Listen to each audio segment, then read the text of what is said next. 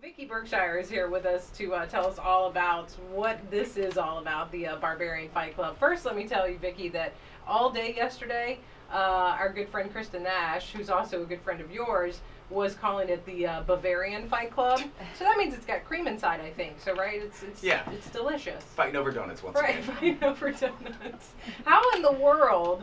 Oh, what's your fight name? Tell everybody what your fight name is. Vickie the Victorious Berkshire. Nice. I like that. Dee's been uh, trying to come up with a uh, fight name for herself. Uh-huh. And I don't know how you can improve upon Dee. And you throw the Daniels in there, Dee Daniels. People tend to run. I think we can come up with something And before the end hide. of the show.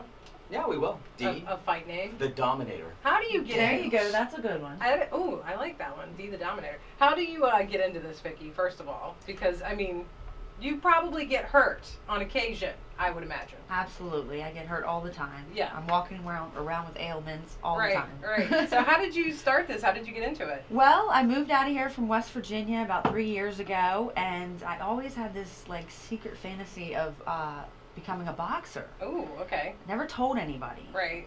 But um, I looked for a boxing gym. I, I wasn't familiar with the area of Fredericksburg.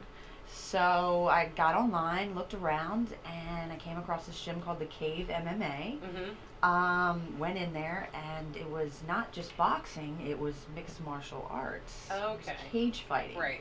Well, I uh, thought I'd try it out, and I found out I was good at it, and there it went. Sort of those things that's fun to find out you're good at, right? Right. You're like, hey, this is, oh, I can knock people down. well, you just got to get over getting punched in the face. After you get to go yeah. get over getting punched in the face, I don't know that I could ever. basis- Yeah, no. no. It just doesn't sound like fun. Because you likely have a real job, Vickie, and Yeah. you have to go to work with your Yeah. yeah. With stuff. You Your know, puffy like, face all the time, right? How does that work? I actually, when I first came out here, I worked at a church.